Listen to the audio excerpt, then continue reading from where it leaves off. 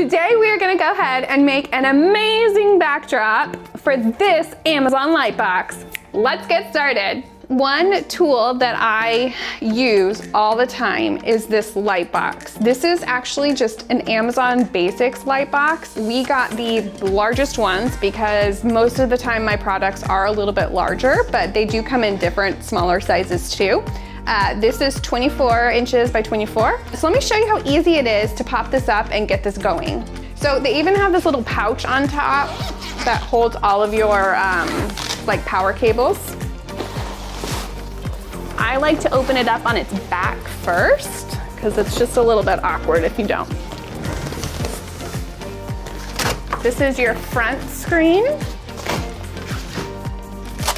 And then this is your normal little pad inside. And then it's all white, except for ours is a little dirty at the moment. Now let's turn it on.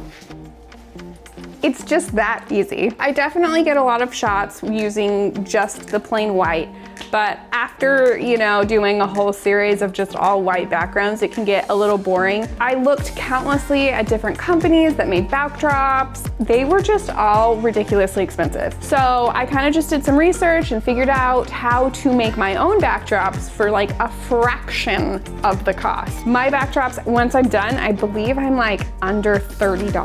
Plus I made it myself and make all of the specific colors I want so that I can fit whatever I'm shooting. I'm gonna grab all my supplies. We're gonna head to the backyard and get started on these.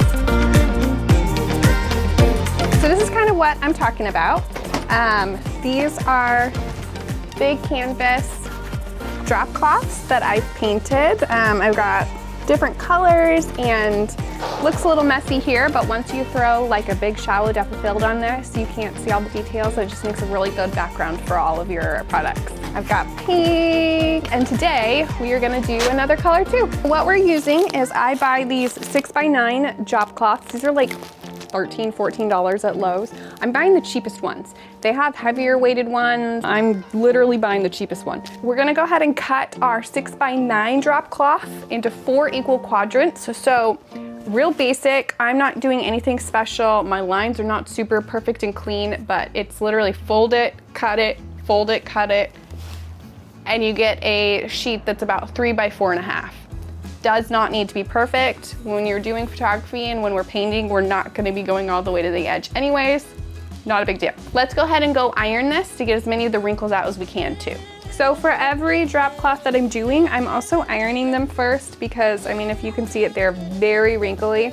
And a lot of the paint gets a lot of the wrinkles out, but you can still tell. So I like to just give it a quick iron to smooth it out the best I can. So once I'm done ironing, I'm going to take this outside and we're gonna set this up to get it all painted. Other things that we need to get. So we've got, these are just chip brushes, really cheap. These were like $2 at Lowe's. You're not gonna wanna do like normal painting with these. These are the cheap brushes. I buy the cheap ones so that I can just toss them when I'm done. Um, don't have to worry about cleaning them up and it just saves a ton of time. They have four inch ones, but the four inch ones are literally like $5 a piece and these are like $2 a piece. So we're just gonna be spreading a little bit more. Piece of plastic to put down to protect your uh, surface. Next, paint. First thing I do with paint is I go to the paint department and I find their little cart that's the mistinted paint and it's all about 50% off. So I find these quarts and I just check the colors that they've already made. For instance, this is kind of like a little cream white color. It was half off for $9. I ended up getting two of them. This is kind of like a little mauve color. The rest of the colors, we just got some paint samples and I had them mix them into the paint sample size.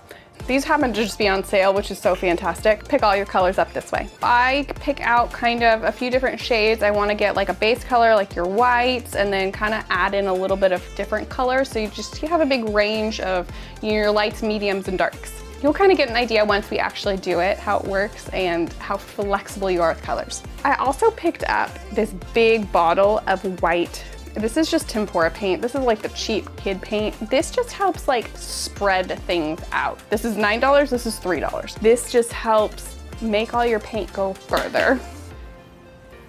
we want lots of character and it doesn't really matter. Nobody's gonna care that you spent $20 on your paint. We're not painting walls, we're not painting, we're literally painting a backdrop that is going to be blurred out in the background of your photos. It doesn't need to be perfect. And in fact, you want it to be as imperfect as possible. On one of my backdrops, I even have a dog footprint because it was laying out drying and my dog walked through it. So if you look closely, there's little puppy dog footprints, but you cannot tell. If you have old paint lying around your house, use that. If it's glumpy and goopy, use it. But definitely have a big thing of white to just make everything spread and go further. You might as well make this go this far. Let's get everything set up and decide what our color scheme is gonna be. I got my handy church key. So let's just kind of open everything up. Just kind of like a little brown color. Yellow. Ooh. Some creamy yellow. Okay, so I think like a yellow brown one. I don't know this is kind of like a white color. Perfect. Looking at all my colors, I think I'm gonna do like a yellow themed one. So we've got the, kind of like this mustardy color and then like a really like ivory and then a little soft yellow and then this brown color. Now this is the fun part, dumping these out. We're gonna get our white and we're literally gonna just start dumping. And there's no rhyme and reason to this, guys. And this is where this white comes in because you want, like, if you see how much open area there is, this just helps spread the paint out further.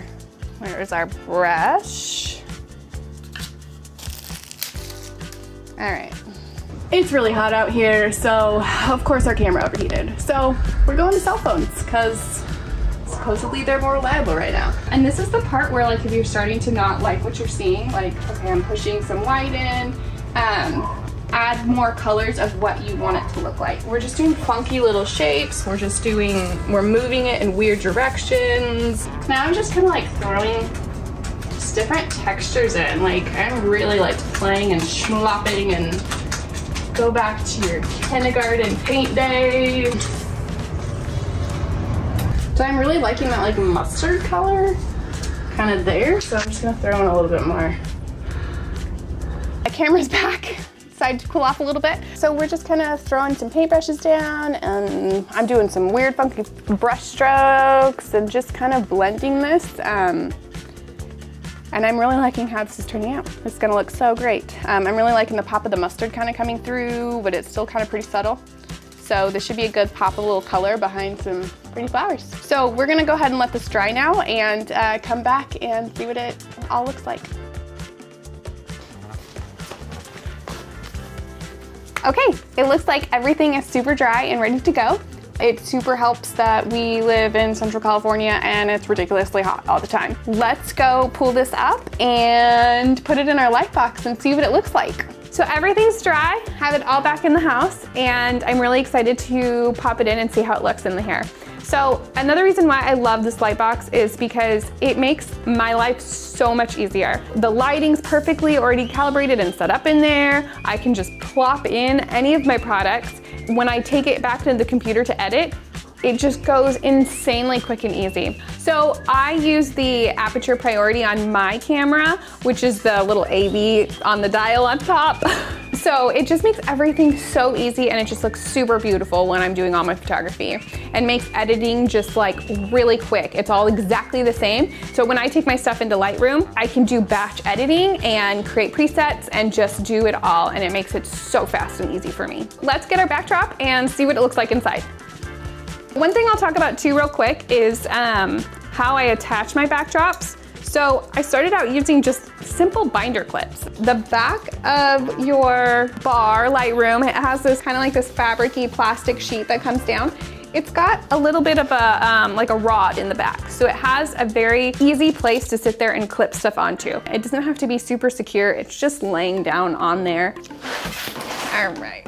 So the reason why I don't paint to the edges too is because it kind of folds in here. This is actually bigger than my box, so it kind of folds and concaves out on the sides. So it's really not necessary to get the entire thing painted.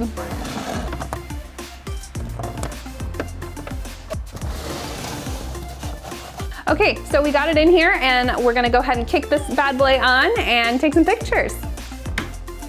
Let there be light.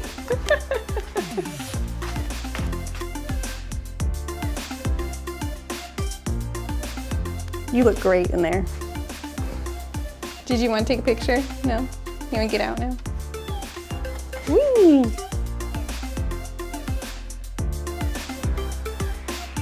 Thank you guys so much for walking alongside me as I made a new backdrop. And can I just say, I am so thrilled with this yellow. I love how it turned out. I love all the texture. Be sure to comment below and let me know what colors I should do next because I've got quite a few more backdrops ready to go and ready to paint. Also, don't forget to like and subscribe. And don't forget about that notification bell because you know you want to hear when I've got a new video. Right? Right? You want to hear? You want to you want more videos, right? You got to know by hitting the bell. Or you don't get to know. And don't get to know about cool things like cool backdrops that now you get to make all on your own fraction of the cost. And now I'm rambling It's a lot of ramble, ramble, ramble. Yeah.